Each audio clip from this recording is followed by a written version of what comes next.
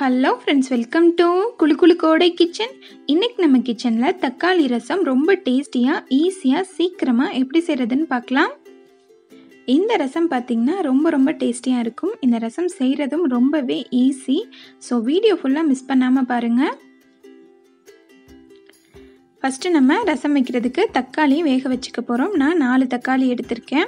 தக்காளி மூழ்கிற அளவுக்கு தண்ணி ஊற்றி விட்டுருங்க. வேகட்டும். வெந்து தக்காளி நல்லா சாஃப்ட் ஆயிடணும் அந்த அளவுக்கு நல்லா கொதிக்க விட்டுருங்க. ஒரு அஞ்சுலேருந்து ஏழு நிமிஷத்தில் வெந்துடும் இப்போ தக்காளி வேகிறதுக்குள்ளே ரசத்துக்கு தேவையானதை ரெடி பண்ணிக்கலாம். ஒரு பத்து பன்னெண்டு பல் பூண்டு கொஞ்சமாக கருவேப்பிலை ஒரு ஜாரில் சேர்த்துக்கலாம். அது கூட ஒரு டேபிள் ஸ்பூன் அளவுக்கு மிளகு சேர்த்துக்கலாம். மிளகு நீங்கள் கூட்டவோ குறைக்கவோ செஞ்சுக்கலாம்.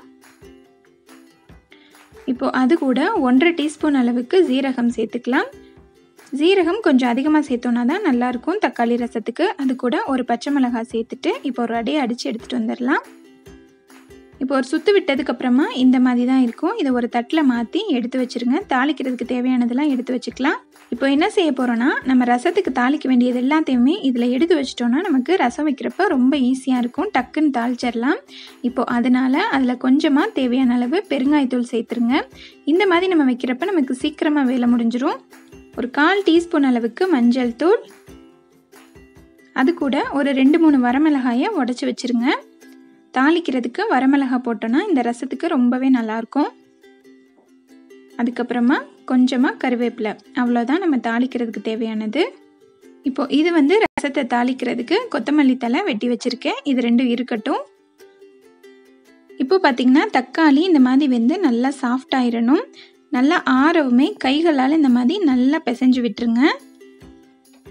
நல்லா பிசைஞ்சு விட்டுட்டு அந்த தக்காளியோட தோல் எக்ஸ்ட்ரா ஒரு மாதிரி கெட்டியாக இருக்கிறது எல்லாமே வந்துடும் நல்லா பழுத்த தக்காளினா நமக்கு இந்த அளவுக்கு வேஸ்ட் வராது. இப்போ இதை எல்லாத்தையுமே எடுத்து தனியாக போட்டுருங்க தேவையில்ல. இப்போ நம்ம எடுத்து வச்சுருந்த கொத்தமல்லி தலையில் பாதியை சேர்த்து நல்லா கைகளால் பிசைஞ்சு விட்டுருங்க. அப்போ நமக்கு ரசம் நல்லா வாசமாக சூப்பராக இருக்கும். அதுக்கப்புறம் இந்த ரசத்துக்கு தேவையான அளவு உப்பு உப்பையும் சேர்த்து மிக்ஸ் பண்ணி விட்டுருங்க. ரசத்தை கரைச்சாச்சு அடுத்து தாளிச்சிக்கலாம். கேஸ் ஆன் பண்ணிவிட்டு ஒரு பேன் வச்சு ரெண்டுலேருந்து மூணு டீஸ்பூன் அளவுக்கு நல்லெண்ணெய் சேர்த்துக்கோங்க. நல்லெண்ணெய் தான் இந்த ரசத்துக்கு ரொம்பவே நல்லாயிருக்கும். எண்ணெய் நல்லா சூடாகவும் ஒரு டீஸ்பூன் அளவுக்கு கடுகுளுத்த பருப்பு சேர்த்துக்கலாம். அது எண்ணெயில் நல்லா வெடிக்கட்டும். இப்போ அது எண்ணெயில் வெடிக்கவும் நம்ம தாளிக்கிறதுக்கு எடுத்து வச்சுருந்தோம் இல்லையா அதை அப்படியே சேர்த்துருங்க. நல்லா கடுகு வெடித்ததுக்கப்புறமா சேர்த்துக்கோங்க. சேர்த்துட்டு இந்த எண்ணெயிலேயே நல்லா வதக்கி விட்டுருங்க. நல்லா சூப்பராக ஒரு வாசம் வரணும். அந்த அளவுக்கு வதக்கிடுங்க ஒரு ரெண்டு நிமிஷம். இப்போ அதை நல்லா ஒரு நிமிஷம் வதங்கியாச்சு. இந்த ஸ்டேஜில் நம்ம கொத்தமல்லி தலை எடுத்து வச்சுருந்தோம் இல்லையா? பேலன்ஸ் இருக்க கொத்தமல்லி தலையை இதில் சேர்த்துருங்க.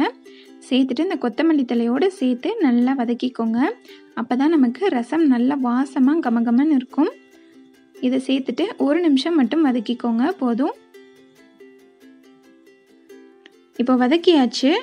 இந்த ஸ்டேஜில் நம்ம கரைச்சி வச்சுருக்க ரசத்தை ஊற்றிக்கலாம் நீங்கள் இந்த மாதிரி ஊற்றுறப்ப பார்த்திங்கன்னா நல்லா சூப்பராக ஒரு வாசம் வரும். ரசத்தை ஊற்றிட்டு உப்பு செக் பண்ணிக்கோங்க. ரசத்தை ஊற்றி நல்லா மிக்ஸ் பண்ணி விட்டாச்சு. எனக்கு உப்பு பத்தலை. உப்பு வந்து ரசத்துக்கு கரெக்டாக இருக்கணும். அப்போ தான் நல்லாயிருக்கும் மிக்ஸ் பண்ணி விட்டுட்டு விட்டுருங்க. ரசம் பார்த்திங்கன்னா நம்ம கொதிச்சிடக்கூடாது. இந்த மாதிரி நுரக்கட்டி லைட்டாக கொதிக்க ஆரம்பிக்கும். இந்த ஸ்டேஜில் கேஸ் ஆஃப் பண்ணிவிட்டு மூடி விட்டுருங்க. நல்லா இந்த மாதிரி ஒரு மூடி போட்டு மூடி விட்டுருங்க. வாசம் வந்து வெளியே போகக்கூடாது. சாப்பிட்றப்ப ஓப்பன் பண்ணால் போதும். இப்போ நம்ம தக்காளி ரசம் நல்லா கம கமன்னு சூப்பராக ரெடி ஆயாச்சு. நம்ம இந்த ரசத்துக்கு புளியே ஊற்றலை ஆனால் டேஸ்ட் பார்த்திங்கன்னா ரொம்பவே நல்லாயிருக்கும் ரொம்ப சூப்பராக இருக்கும். நல்லா டைஜஷன் ஆகும். வீட்டில் நீங்களும் இந்த ரசத்தை கண்டிப்பாக ட்ரை பண்ணி பாருங்கள் இந்த ரெசிபி கண்டிப்பாக உங்களுக்கு பிடிச்சிருக்கும்னு நம்புகிறேன் பிடிச்சிருந்தா லைக் பண்ணுங்கள் உங்கள் ஃப்ரெண்ட்ஸ் அண்ட் ஃபேமிலிக்கு இந்த வீடியோவை மறக்காமல் ஷேர் பண்ணிக்கோங்க. நம்ம சேனல் கோடை கிச்சனுக்கு சப்போர்ட் பண்ணுங்கள் சப்ஸ்கிரைப் பண்ணுங்கள் உங்களோட வேல்யூபிளான கருத்துக்களை மறக்காமல் கமெண்ட்டில் பதிவு பண்ணுங்கள் நாளைக்கும் இதே மாதிரி ஒரு இன்ட்ரெஸ்டிங்கான வீடியோவில் பார்க்கலாம். Thank you so much have a nice day